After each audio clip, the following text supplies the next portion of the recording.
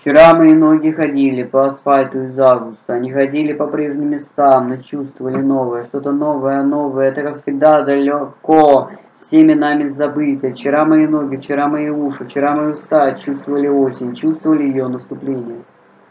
Задувал даже ветер, даже бы сказал вселенский ветер, сильный и могучий, песчаный, в глаза попадал песок, камушки, попадал Дала даже вода с фонтанов, мои уста чувствовали мокрый ветер, чувствовали осень, время перемен, чувствовали время спокойное, ушедшее, забытое всеми нами, в августе летом, в августе летом, при буре песчаной, созданной нами. 10 18 18